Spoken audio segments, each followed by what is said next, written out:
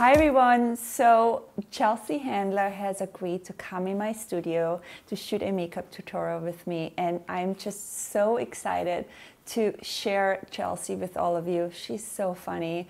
I just love working with her so much. So you can find Chelsea on Netflix. I worked with her on the show since last year. It's so much fun. And in this video, I'm just basically teaching you a few tips and tricks on how to do makeup on TV. It's a little bit different than doing makeup for red carpet and photo shoots. And you will also just get to see, you know, me and Chelsea together, basically how we are every day at work. So enjoy this tutorial. Can't wait for you to see it and leave me some comments and I see you next time. Thanks for watching. Bye.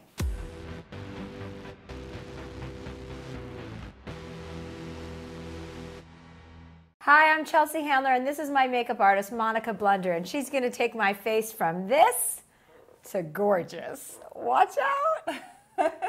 I'm going to start with this foundation. Okay. This is Charlotte Tilbury, and this is what I use on you every day when I'm doing your makeup on the show. So a lot of people have asked me to do your makeup because you know we post a lot of photos. You post a lot of photos, and everyone always asks me how I do your makeup. So I thought I'm going to do a tutorial, and you're so sweet that you came to do this. To the valley. I drove to the valley. Yeah. On my Vespa. She came to the valley with her Vespa on a Saturday on her day off. Everyone. She came here to do this makeup tutorial. So, can I ask you a question? Would Yeah. you, for somebody who wants to do their makeup, because we do my makeup specifically for Yeah. camera, on camera, Right. right? So this makeup I'm doing today is really kind of how I do it for the show. So this is like more TV makeup, and it's actually a really good question because there is a difference between TV makeup and red carpet makeup and makeup for photo shoots. So for TV, what you really have to look out for is that the lights are so much brighter. So you have to maybe use a little bit more foundation. Also, like what a lot of people forget, what I realize is like the ears is an example. So I always put foundation on your ear. Because that is a good tip, because a lot of people don't ever think to cover up your hands or those other Yeah. like areas. It's so true. I didn't know about that until you started doing it. So, like for tonight, since I'm just going to a red carpet event, even though we'll, we'll be doing my makeup and I'll wear it tonight, but if I were going to a red carpet event where I'm getting photographed, but it's not the same as being on TV, Right, what, what it's a little bit different. it would be? It would be a little bit different. Like I would maybe use a little bit less foundation, and I would also maybe put a little bit more highlight on you because the highlight really catches really nicely with the photo. That's what I notice the most when you highlight me, because you put the foundation on, and then I'll be looking in the mirror, And it looks and I'm like, flat. this is flat, and then all of a sudden, all my features become prominent after you like draw Yeah. on them. Yeah, I like to bring in is this Make Up For Ever HD foundation. That's a little bit heavier than the one I used before, and I like that So one. is what you just put on me the primer? No, I, I used the Charlotte Tilbury one, and that's like a really light. It's almost like a tinted moisturizer. Okay. It's super light. But like there's areas on you, like around your chin and like around your nose, and like sometimes here around you're like a little bit more red, like the red Mm-hmm. comes out. So I need to cover that a little bit more. So is that a So- primer? What's a primer? A primer is actually a cream. And a primer is something you put on before you put foundation on. And a primer helps for the lon- longevity of the makeup. And did you put that on today or I no? did, yeah, I didn't do that on camera. Okay, that, that'll be our secret then. Yeah, that'll be our secret. One thing that's a good tip, what I do on you is color correcting.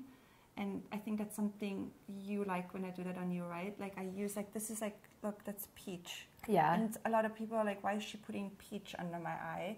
But if you like you're a little bit darker or like Uh-huh. a bluer undertone, and if you would like put a regular concealer on, something like that, Because I always do that. I put concealer on at home, and whenever I'm at home, I put concealer on, and it just looks like I have two white patches under my eyes. So you put on the darker one to cut to mm. cut, cut the color, and then you even it out with and then I another even it out concealer. with that, and that's almost like a highlighter, so that kind of like brightens your eyes. So- you, know? you get that little. And how do you figure out? How do people figure out what is the right under eye concealer color for them? Well, that's that's the challenge. That's where when you need me to come in and help you.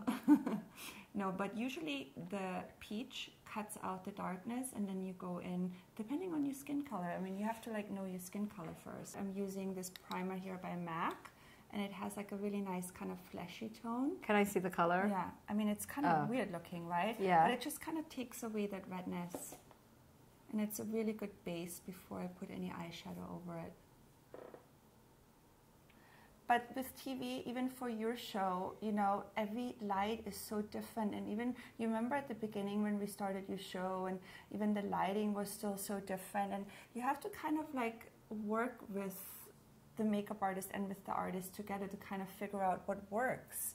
You know, we had to also do a little bit trial and error at the beginning and like try to figure out what the right colors are for you. And I feel like we kind of figured it out now, which is really nice. Right, because in the beginning when we started shooting the show, it was like I would be look really like there were shadows on my face, the lights Yeah. necessarily, and then I would look like you could totally see the like bags under my eyes, even though they were small and Right. looked covered up in, in plain day.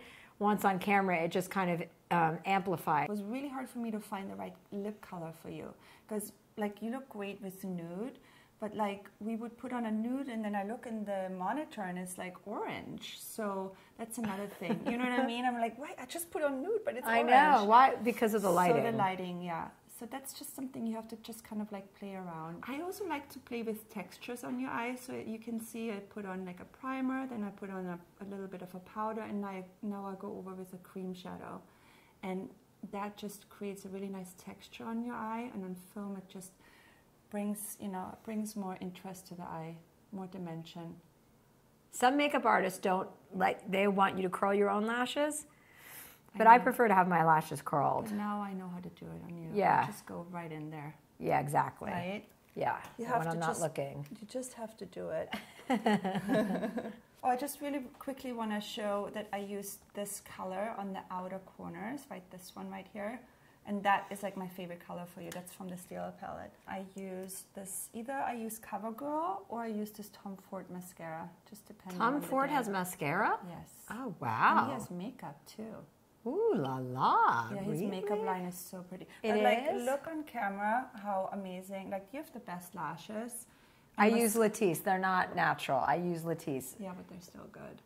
And mascara makes such a huge difference on you.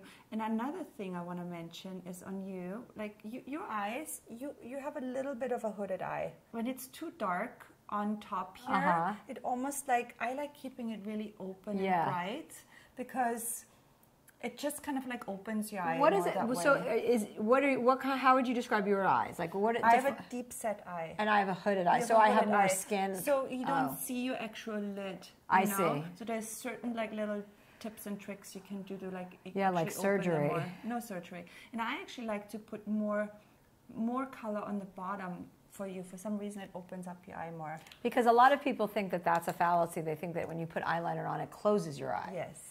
On Yes, camera, and yes. that's not true, That's right? not true. But on you, for some reason, putting more sh- uh, shadow or more darkness on the bottom, like really works on you for some reason. And there's another thing I want to share with everyone is this is don't you think that this makes such a Yeah. difference? Mhm. That's something I taught Chelsea and she's never done before.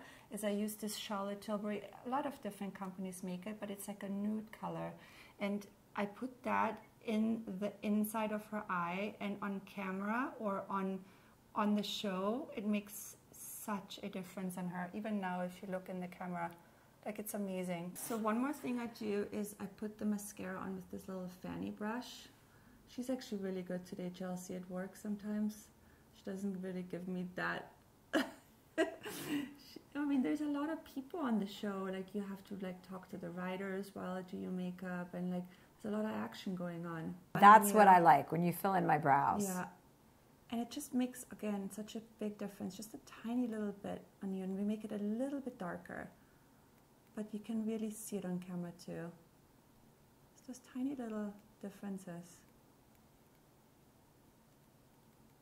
So I'm going to put this little bronzer on you too. That's another thing I love. It makes such a difference to kind of like give you a different dimension to your face instead of just having one color on. And it's not that I'm contouring your, it's, it's just like I'm giving a little bit dimension with a darker shade. And that you can really see on camera. Again, we don't want to like contour, we just want to like brighten the skin. And again, stay away from too much shimmer for TV. Yes, that's the thing. People get too tan and too shimmery. Too tan and too shimmery. Too much and orange. Is Orange, yes, it's so gross. Don't spray tan, girls. Oh, it's not. It's It's gross. just not a good look, right? It's so much nicer to have natural skin tone. I- This one I love. See how this one doesn't have any shimmer in it? Yeah. It's like super flat. And I do put a little bit of a highlighter on you, but I'm going to show you after this how I create it. So first I make it really flat and matte, and then on top of it I put the highlighter over it. What I do to create that highlight on you, because we don't want it to be too shimmery, but I do like a little bit of a highlight. I like this Hourglass palette and I use those two shades and it's just a perfect combination and just gives you that Ooh. beautiful glow. That brush feels nice, It's so nice, right? especially when the the makeup goes flies right up into my eyeball. and then I'm blurry eyed for the rest of the night, which is the way I like it. Do you use the same stuff on yourself that you use on me? I do. I always test everything out before you. How do you decide when you're going to new try new products? Well, that's a, that's a challenge. So I usually bring it into my bathroom for like a week, and then I give it to Hannah, my assistant, and we both test it out, and then we really figure out if we like it or not. Like I, I would never put anything on you before I haven't tested it, and then I try it in different lights and everything, and I take a picture. Like I definitely try it first. For the lips, again, like I said earlier, I've tried so many different colors on you, and I'm not using the same lipstick every day on you for the show because I don't want to get bored. I want you not to get bored. Well, I don't want And you to get bored. I If you get bored, then what will exactly. I do? Exactly. So I'd like to like God forbid. try new things. But this color I used on you the other day. You remember when you wore this Valentino dress? Yes, that was my favorite. And you were photographed, and you just looked so amazing with your hair pulled back Yeah, I love that. That's when everyone asked me how I do your makeup, and everyone asked me about the lipstick. And this one I used on you, and it's just perfect color for you. So Lorik out there sent Chelsea a box of these. Yes. Um, I just love it. I usually put a little bit of a lip balm on because this lipstick is re- it's not drying, but it's really matte. So you want to have your lips really nicely moisturized. And then when I put it on, it's super super matte. And it's that's something also you love, Chelsea, right? Yes, my I don't God, like gloss. is so cute. She, I, I like gloss on you. I do like a gloss on You you, do? sometimes. Yeah, for the show, I love it. But you love a matte lipstick, and this one is so matte. And the way how this one photographs is just perfect. It's like the perfect nude for you. And that's another thing. To find the nude, you have to try. You know, see how Is there a works. perfect nude for everyone? There's a perfect nude for everyone. But that's another video. I'm gonna do that. And I do a little bit of a lip, um, a lip liner on you, because it just for some reason, when I do a tiny little bit of a liner right on here, it just makes your lip a little bit more pouty. yeah. You know, it just gives you that little poutiness. Well, our lips get thinner when we get older, I right? do, yeah. But you have the perfect lips, Really? and now they're kissable. I wish someone would kiss me. Will someone kiss me? Thank you for doing this. Thank you, baby.